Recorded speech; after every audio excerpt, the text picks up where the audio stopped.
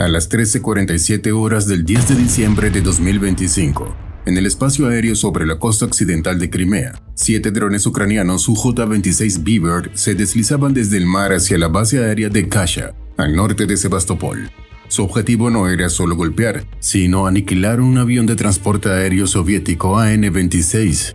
El interior del vehículo de control del Panzer S-1 olía a ozono y sudor frío, pero en la pantalla la realidad se estaba distorsionando.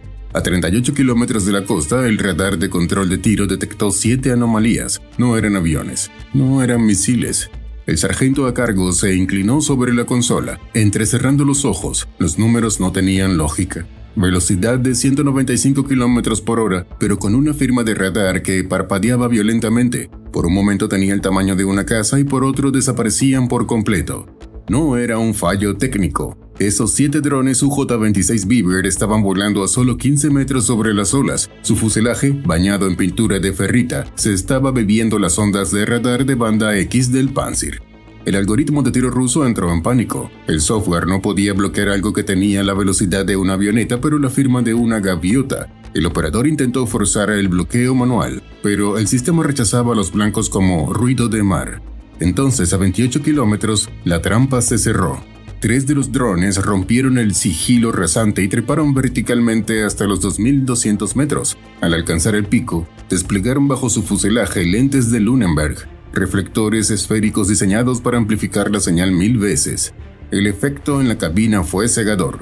En la pantalla del operador, tres puntos minúsculos se convirtieron instantáneamente en tres bombarderos estratégicos masivos entrando en picado. La computadora del Panzer, programada para priorizar la amenaza más grande, mordió el anzuelo con violencia. Las torretas automáticas giraron gritando hacia los señuelos brillantes en el cielo, dentro de la cabina del Panzer. El operador no veía drones, veía vectores de ataque de bombarderos pesados. Su cerebro reptiliano, entrenado por la doctrina soviética, tomó el mando. Amenaza masiva, fuego de saturación. Su dedo golpeó el botón de lanzamiento dos veces.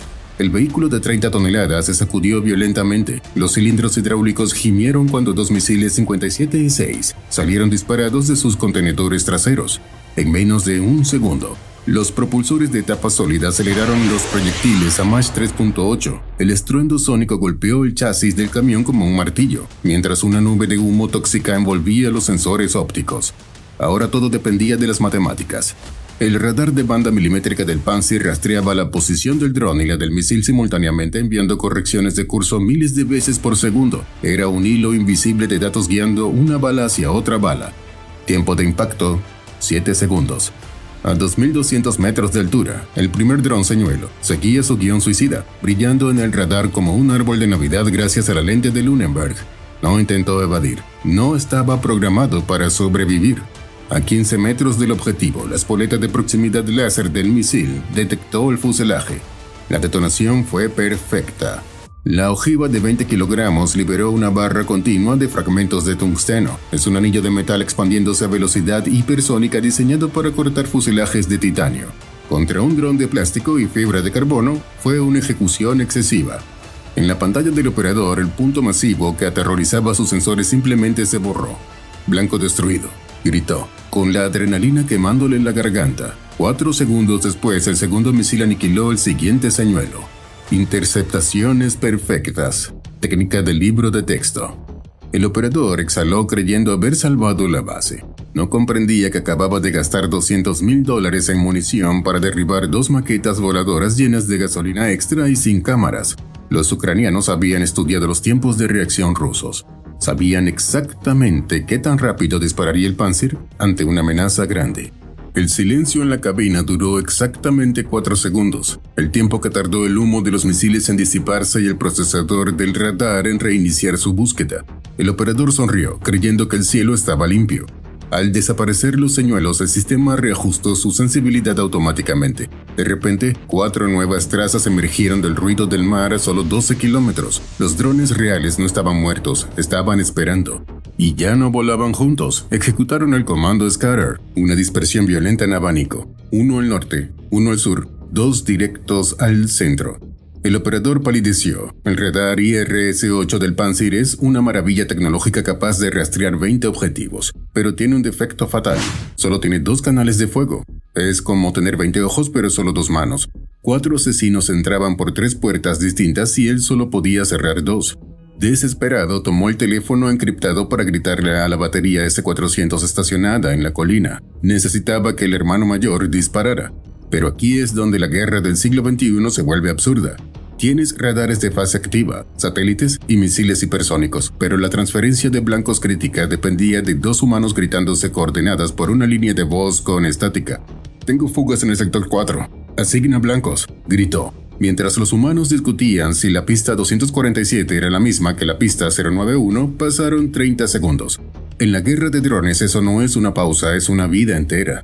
Los drones ucranianos se deslizaron justo en la costura técnica. Estaban demasiado cerca para el S-400, un sistema diseñado para matar bombarderos en la estratosfera, miope como un anciano para ver sus propios pies, y demasiado dispersos para que un solo Panzer saturado pudiera detenerlos a todos. Mientras el mando discutía por teléfono, la batería Buk M3 del sur dejó de esperar órdenes. El operador vio la realidad cruda. Cuatro drones supervivientes abriéndose paso hacia la base. Sin embargo, si disparaba todo su arsenal ahora, tardaría 12 minutos en recargar. 12 minutos en los que la base sería un campo de tiro libre. Apretó los dientes y seleccionó solo dos objetivos de los flancos y disparó. Aquí es donde la supertecnología rusa choca contra la física básica. El radar del Buk no es un ojo divino que todo lo ve. Funciona como una linterna estroboscópica en una discoteca oscura. Para guiar misiles contra dos objetivos separados, el radar debe hacer malabares. Ilumina el dron A, apaga, gira, ilumina el dron B. El ciclo toma 500 milisegundos. Parece poco, pero es medio segundo donde el misil vuela ciego, confiando en una predicción matemática de donde debería estar el objetivo. El problema es que los drones ucranianos no respetaban las matemáticas, no tenían sensores para ver los misiles, simplemente ejecutaban un script de evasión aleatoria. Sube, baja, vira, solo código estúpido y errático. El radar se encendía, el dron estaba ahí, el radar se apagaba y el dron viraba a 25 metros. Cuando la luz volvía, el misil se daba cuenta de que iba al lugar equivocado y tenía que dar un volantazo brutal. El misil del flanco oeste se agotó tratando de cazar un objetivo que se movía como una mosca borracha, sin energía cinética para el giro final. Detonó inútilmente en el vacío. El misil del oeste tuvo más suerte. Su objetivo cometió el error de volar recto un segundo de más y se transformó instantáneamente en una nube de aluminio y queroseno. Balance final, un derribo y dos cargadores menos. Tres drones UJ-26 seguían vivos. A 40 kilómetros entraron en el dominio del depredador Alpha, el S-400 Triumph. El operador ruso no sudaba. Sus pantallas mostraban a los drones siguiendo la línea negra de la carretera costera. Ya no usaban radio ni GPS, navegaban como zombies, usando una cámara barata para leer el contraste del asfalto. Presionó el botón. Un misil 48N6 de 7 metros y 2 millones de dólares rugió hacia el cielo. Era un titán diseñado para cazar bombarderos nucleares, enviado a aplastar una maqueta de fibra de vidrio. Pero la ingeniería rusa cometió un error fatal de arrogancia. El software de tiro del S-400 está obsesionado con la velocidad hipersónica. Su algoritmo espera que un blanco digno se mueva al menos 100 metros entre cada escaneo de radar. El dron ucraniano, arrastrándose a 180 km por hora, apenas se movía 5 metros. El ordenador central miró ese dato ridículo y tomó una decisión ejecutiva. Eso no es un avión, es un ruido estático. El filtro digital borró al dron de la realidad. El misil más temido del planeta se quedó ciego en pleno vuelo, buscando un objetivo que su propio cerebro acababa de decir que no existía. Es la ironía suprema de la guerra moderna. Construyeron un sistema para matar águilas a Mach 4 y ahora era incapaz de ver a una tortuga porque era demasiado lenta para ser considerada una amenaza. Y no me malinterpretes, es una obra maestra de la balística, pero a mayor velocidad, menor maniobrabilidad.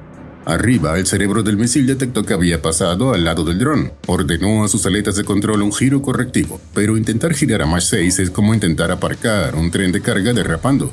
La fuerza G lateral superó los límites estructurales del misil. La ingeniería ganó la batalla. El misil incapaz de cerrar el ángulo de giro pasó de largo 800 metros del dron. El impacto contra el mar generó una columna de agua de 100 metros de altura. Sin embargo, el segundo dron volaba retrasado, justo en la trayectoria de caída. El misil no lo tocó, pero pasó a 50 metros a Mach 6. A esa velocidad el aire se comprime en una onda de choque sólida como el cemento. El latigazo sónico golpeó el frágil dron de fibra de carbono y le arrancó las alas de cuajo en una fracción de segundo. El fuselaje se desintegró por la pura violencia de la estela hipersónica. El operador ruso miró la pantalla con horror. Aún le quedaban objetivos y estaban acercándose. En ese momento los dos últimos drones divergieron. Uno trepó el cielo, acelerando. El operador con los nervios destrozados mordió el anzuelo instintivo. Objetivo alto y rápido, fácil de matar. Lanzó su penúltimo misil sin pensarlo. Fue un tiro al plato fácil. El dron se desintegró en segundos. El último UJ-26 no subió. Se zambulló hacia la Tierra, buscando las líneas de alta tensión de 330 kilovatios que alimentan la red ferroviaria de Sebastopol. Esto no era solo volar bajo, era guerra electrónica ambiental. El alto voltaje genera un fenómeno físico llamado efecto corona, una ionización del aire alrededor de los cables que crea una nube de ruido electromagnético. Para el radar ruso, esa zona era un muro de estática pura. El dron se metió dentro del corredor eléctrico usando los cables de acero y la interferencia magnética como un escudo de invisibilidad. El operador intentó bloquearlo, pero su pantalla era una tormenta de nieve. Disparó su último misil en modo manual, guiándolo a ojo hacia donde creía que estaba la amenaza. El misil explotó contra una torre de electricidad, cortando la luz entre distritos, pero el dron ya no estaba allí. Había salido del túnel de interferencia solo 3 kilómetros de la pista, con los depósitos llenos de explosivos y el camino despejado hacia los bombarderos estacionados. A las 13.58 horas, en el perímetro interno de Kasha, la red digital había muerto. El S-400 estaba ciego, el Panzer estaba vacío. La defensa de una de las bases aéreas más estratégicas de Rusia ya no dependía de microchips ni radares de fase activa dependía de dos conscriptos sentados en los asientos de hierro de un cañón antiaéreo remolcado, ZU-23-2, tecnología de los años 60, dos tubos de 23 milímetros, una mira óptica de anillo y maniveles manuales. La sirena de ataque aérea era ensordecedora, pero debajo de ella escucharon el sonido. No era el rugido de un jet a reacción, era un zumbido monótono, ridículo, como una motosierra en el cielo, el sonido de la muerte barata. Contacto visual. Rumbo 210, gritó el cargador. El dron superviviente se materializó a través de la bruma de calor sobre la pista, un crucifijo negro volando a 100 metros de altura. Sin radar de tiro, el artillero tenía que calcular la deflexión a ojo. Apretó el pedal. Los cañones 2 a 14 rugieron, escupiendo 2.000 disparos por minuto. El aire se llenó de trazadoras rojas. Era un muro de plomo diseñado para despedazar helicópteros. Pero el dron no volaba como un avión militar. Era pequeño, lento y no reaccionaba al miedo. Las trazadoras pasaban zumbando a su alrededor, creando una cortina de muerte a pocos metros de sus alas, pero en la balística, cerca, no cuenta. El dron siguió volando a través de la tormenta de fuego, indiferente a la desesperación humana, cruzando la última línea de defensa. El cañón hizo clic. Se habían quedado sin munición. A 1500 metros del final de la pista, el dron activó su ojo final. La fase de navegación inercial terminó. La inteligencia artificial de reconocimiento de imagen tomó el mando.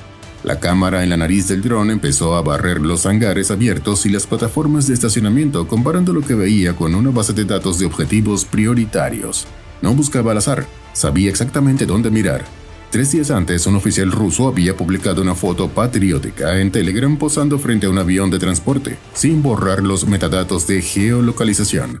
Sin saberlo, había pintado una diana láser digital sobre el fuselaje del avión más valioso de la base. El procesador del dron hizo match. Ahí estaba, un Antonov AN-26, código OTAN, Curl matrícula RF36074, estaba aparcado en la plataforma norte, con camiones de combustible a su lado, el objetivo perfecto. El dron inclinó el ala herida y entró en un picado terminal de 45 grados. La ojiva que portaba no era sofisticada, eran 25 kilogramos de explosivo termobárico rodeados de una camisa de fragmentación. No necesitaba penetrar blindaje, necesitaba crear una onda de precisión. Impacto a las 13.59.02. El dron golpeó la raíz del ala derecha, justo entre el motor, turbo, hélice y el fuselaje principal. La detonación inicial pulverizó los depósitos de combustible del ala, pero la verdadera destrucción ocurrió una fracción de segundo después. El combustible de aviación automatizado se mezcló con el aire y la carga termobárica lo encendió. Una esfera de fuego supersónico de 2000 grados centígrados engulló a la N-26. El aluminio de grado aeronáutico no se derritió, se evaporizó. La onda de sobrepresión partió el fuselaje del avión de 24 toneladas por la mitad, como si fuera un juguete de plástico. La explosión secundaria de los camiones de combustible cercanos iluminó los sensores sísmicos en Sebastopol. Cuando el humo se disipó, de la N-26 solo quedaba la cola ennegrecida apuntando al cielo, una lápida irónica en medio del cráter. El ataque había durado 12 minutos. La red de defensa aérea más cara del mundo había sido derrotada por un enjambre de plástico, código inteligente y la arrogancia de creerse invulnerable. El fantasma de Cacha había cumplido su misión. Fin de la transmisión. Cambio y fuera.